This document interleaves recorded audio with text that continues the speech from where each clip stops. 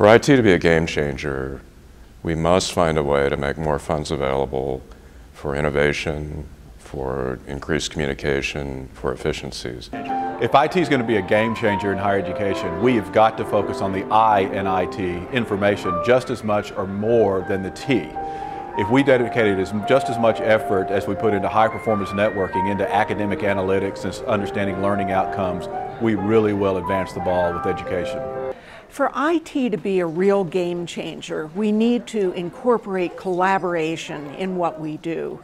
I think that whether it's working on business processes and collaborating with people in operational units, whether it's working with faculty and students and building collaborations for really innovating in teaching and learning, or working with librarians or others on campus in developing new kinds of facilities that take advantage of the opportunities afforded by new technologies. Collaboration is key. We must get out of the data centers and get into the chair's offices, get into the provost's offices and dean's offices and find out what they need.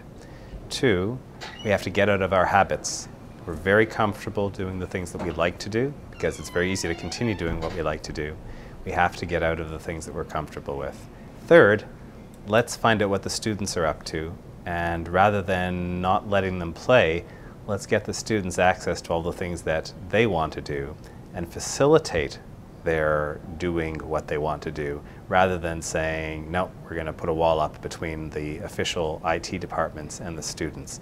And fourth, not only should we collaborate within our own IT departments, we have to collaborate outside of our IT departments, collaborate with other schools and with people in industry and with anybody else who wants to work with us. For IT to be a game changer, we need to move to India all the big change in higher education and IT are going to come in the emerging economies such as India.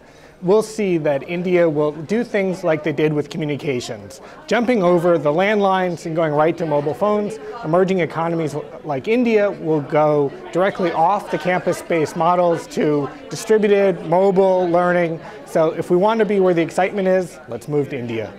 If IT is going to be a game changer, we must deal with mobility and the international marketplace. If IT is going to be a game changer, one has to understand the game and the context in which it's played.